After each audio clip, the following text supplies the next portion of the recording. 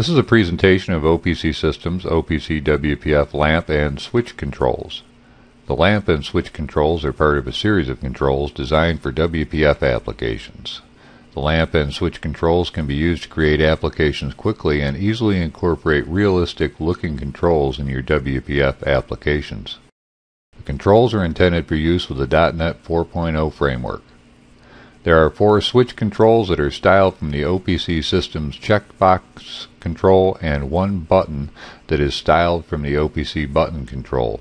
There are also three lamp variations that are styled from the OPC Systems content control. There are multiple properties that can be controlled by live data from OPC System Service, such as opacity, enabled, foreground, border, and background color, flashing, and others. The styles can be edited to suit your own needs, or you can create your own styles based on any of the OPC system's controls and WPF.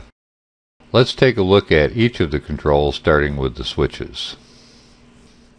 We've opened our application now in Expressions Blend 4.0.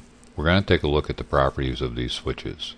There are four switches that are based off of the checkbox control and that would be the OPC WPF toggle button power, the OPC WPF button rotary, the OPC WPF button toggle switch, and the OPC WPF button toggle 1. Let's take a look at the properties of the OPC button rotary. All of these switches have the same properties. So if we look at one, we're going to be looking at the same properties for all of them. But the primary properties that you're going to want to look at are first the brushes. We can adjust the background color, which gives us a look and feel of the background of the switch. And then the border brush. The border brush is the area surrounding the actual switch. So we can see that that's changing there. We can change that color to whatever we feel like. The next thing we're going to want to look at is the common properties of the OPC systems. In there, we have our is checked tag. And this will control whether the button appears to be checked or unchecked, and that is the state that we have styled this on. Here we have our pump value that is controlling the is checked state of that button. So if we go back up to our common properties, we can see the is checked state is unchecked. And if we check that, you'll see that it actually changes the state of the button. You can also see the animation here. So back in our common properties, the is checked tag controls the look and position of that switch. Under the content OPC systems, we also have the pump value used there, and that is controlling the content of the switch. So when the is checked state is false, we will display motor off above the switch, or when the is checked state is true, then we will display the motor on above the switch. The location of that text is controlled by the layout properties. So if we go back up to our layout and expand the layout, we will see that it is defined as the horizontal is centered and the vertical content is at the top. So if we change that to bottom, you'll see that that moved down to the bottom or the center or the top. Now let's take a look at the set value OPC systems properties. So under set value, we're again using our pump value. We're going to set the value boolean to true and then the set data type is logical discrete. So when we click on that, we will set is checked property to true or false based on our mouse click on the switch. Those are the base properties that we're mainly concerned with. Now, the extended properties that we're going to take a look at next are the brush properties for the OPC systems control. And you'll see here that we can, based off of an OPC systems tag, change the background colors here. We can also have a flashing for the background. Do the same with the border brush and also the foreground brush. So we have options here to change the color, the look and feel of that switch based on OPC systems tags. We also have the other properties which are common to all OPC systems controls, which are the transform. So you can rotate, skew, scale, translate, all of that's capable through OPC systems tags. So those properties are common to all four of these switches. Let's take a look at one of our lamp controls. Now the lamp is based off of the basic OPC system content control and is styled from that. So if we go up, we can take a look at our properties here and we have the background and the border brush and the foreground brush that we can affect through our standard setup. And we'll see right now we're looking at the border brush and we're changing the actual border around that lamp control. Now if we take a look at our background, we can also change the appearance of that background to anything that we like. You can see now we've got it a bright green or we can go with blue, any colors that you care to choose. That uh, is completely customizable, not only through our brushes property, but through the OPC systems brush properties.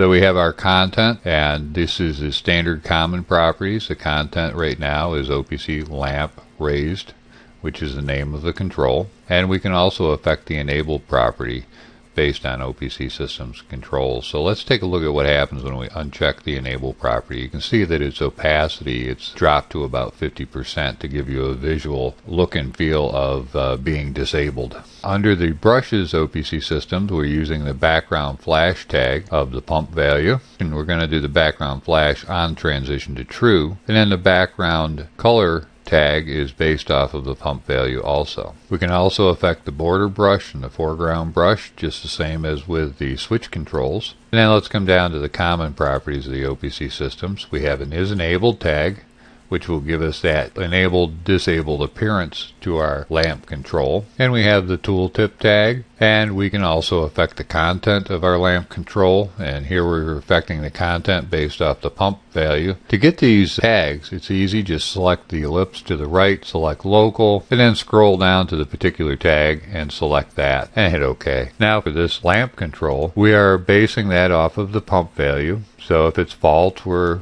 putting the content up here of motor stopped, or if it's true, we're saying that the motor's running. And again, as with all the other controls, we have our transforms from the OPC systems tags. And let's take a look at our button control. This is based off the OPC WPF button, and this one is named is OPC WPF button push for the specific style. And we can see that we have the same background, border brush, and foreground properties that we can affect here and also the layout and the common properties is uh, the content that we're concerned with. We can also enable and disable this control. So if we look at the disabled property, you can see again that its opacity is set to about 50%. Now if we come down to our brushes, we can also see that we can affect the background and the foreground and the border brush. And then under common properties, we're going to use the is enabled tag here and we will enable and disable this based on the pump value and is enabled is set to on true. The content tag we're not using at this point but we can have a content tag here that will place content up here based on an OPC systems tag. And we're going to use the set value on this to set the mixer value and we're going to set that to false. And the reason for that is we're using a logical discrete and we're just going to set that to false whereas our set alarm button over here that we're using is set to true. So here we're using two different buttons, one to set the tag to true and one to set the tag to false. And again, we have our transforms. So let's take a look at our application and run it. I'm going to go up to project and run project. And I'm just going to minimize our development environment here. And here we have our project that's open and running and we'll expand that with a little rollout. And we can see we have our power button here. We can turn that off turn it on. Our e-stop is also affected by the power on and power off. So if we have the power on and we hit the e-stop that's turning the power off. We have our motor starter and we're set at run right now and our indicator is telling us that the motor's running. So I'm going to set that to stop. We're displaying motor stop and our lamp here has changed color and we have a stop drive toggle button here. And we're going to hit that. And it shows that our drive is stopped. Notice also that our buttons down here are grayed out. These are grayed out because we used the is enabled tag. And what we did was we based that is enabled tag on the motor starter here. So now if we turn that motor on, we'll see that the buttons are enabled. If we turn it off, we see that they're off. So let's turn that back on. We have our motor running. We have a flashing indication to show that it's starting up. Our drive is stopped. Let's start the drive. Notice the flashing indication here also. And I'm going to set an alarm. Now we have our flashing stripes that are showing up in the background of the drive running.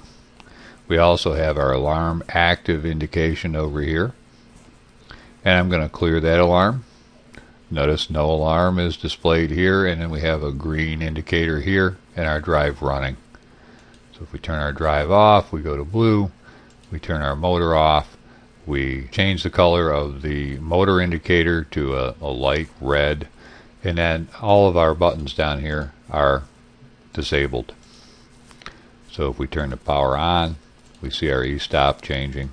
We'll roll up our application and we'll shut it down.